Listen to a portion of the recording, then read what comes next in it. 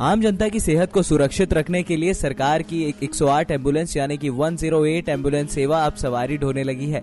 इसका नज़ारा बस्ती में देखने को मिला है। बस्ती रोडवेज़ पर जब 108 एंबुलेंस सवारी उतार रही थी, उस पर कैमरे की नज़र पड़ गई। तस्वीरें कैद होता देख ड्राइवर आनंद फानन में बिना पैसे लिए ही उन सवारियों को छोड़कर चलता बना, जिन्हें वो कहीं से भी बिठाकर लाया था। फ़िलहाल प्रभारी सीएमओ इससे इनकार कर रहे हैं। सवाल ये है कि जैसे उसमें सवारी ढो रहे हैं एंबुलेंस एंबुलेंस तो में। एकदम गलत है यदि नहीं तो क्या उस पर क्या कार्रवाई कर रहे हैं? उसका कार्रवाई तो हम जिसका है सामान वही कार्रवाई करेगा ना। मैं उससे कह दिया हूँ यादव से कह दिया हूँ ऐसा हो रहा है इसके अगेंस्ट प्रॉम्प्ट लो।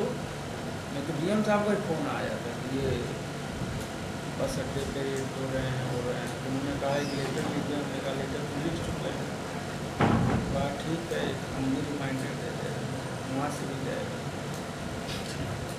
अब हम लोग मार झगड़ा तो कर नहीं सकते कोई तो नहीं सकते नेक्स्ट नाइन न्यूज़ के लिए बस्ती से राघवेंद्र सिंह की report subscribe now to receive new updates reviews and news.